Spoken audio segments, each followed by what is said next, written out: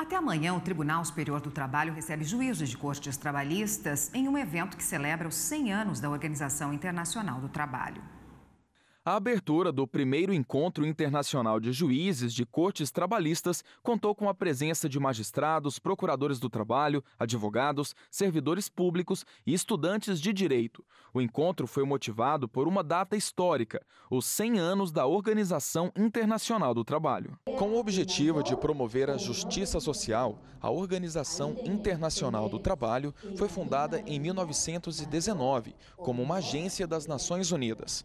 Em um de existência, os esforços da OIT e dos mais de 180 Estados-membros alcançaram reconhecimento mundial, inclusive com o recebimento do Prêmio Nobel da Paz em 1969.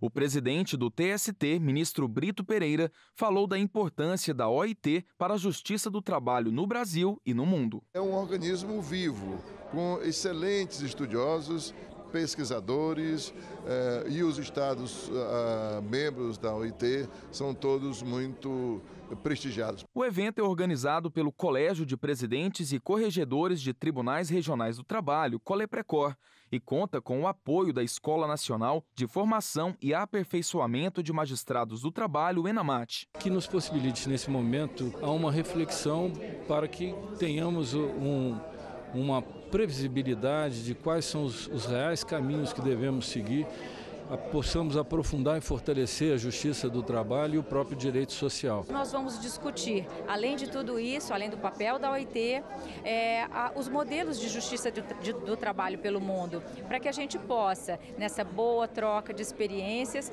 aprimorar a própria legislação doméstica. Nos três dias de evento, o encontro recebe convidados de países como Alemanha, Argentina, Holanda, França e Panamá, além do Brasil. Os debates giram em torno de três tópicos: o acesso à justiça em disputas trabalhistas, os modelos de justiça do trabalho pelo mundo e a reforma trabalhista.